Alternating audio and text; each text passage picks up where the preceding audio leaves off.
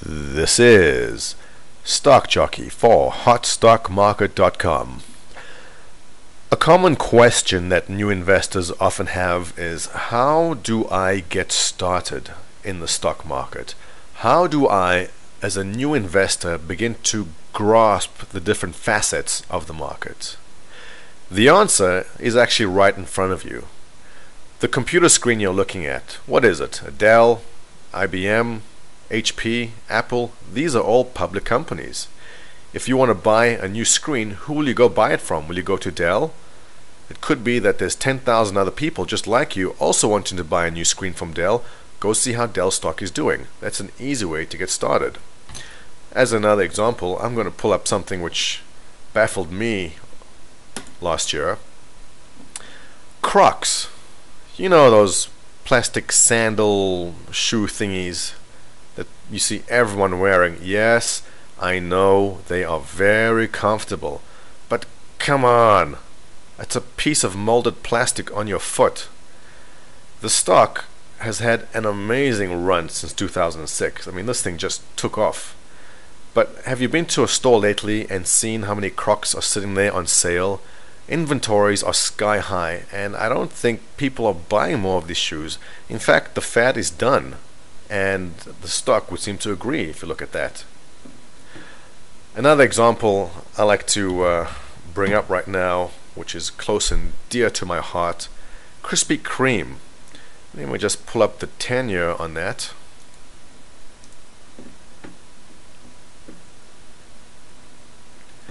Let me use this one as another example of just keeping your eyes open for trends around you.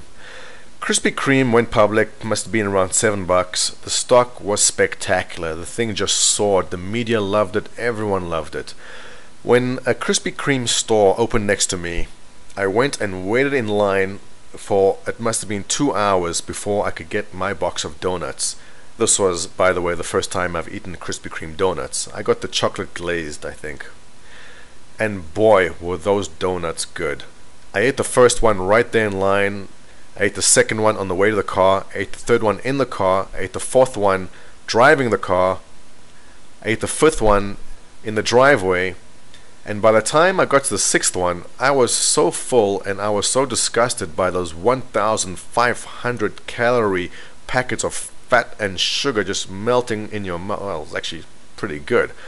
But by the time I finished the sixth donut, I really didn't have a craving for any more donuts. And I think that's actually the last time I had a donut, ever. Well, I wasn't the only one who felt that, and I think it was around 2003 where the whole Atkins diet phase kicked in also, and people just stopped eating donuts. Well, they ate less donuts, and as you can see, less donut sales, less profits, and there goes Krispy Kreme. So, by keeping your eyes open to trends around you, you can already get a heads up to what's going to happen in certain stocks. My advice to new investors is to also pick out stocks in many different sectors. I'm punching up a map of the market share. This is from smartmoney.com slash market map. And it's basically showing me what the different sectors have done today in the markets. For example, we can see that financials are generally in the red, whereas energy has done well today and generally in the green.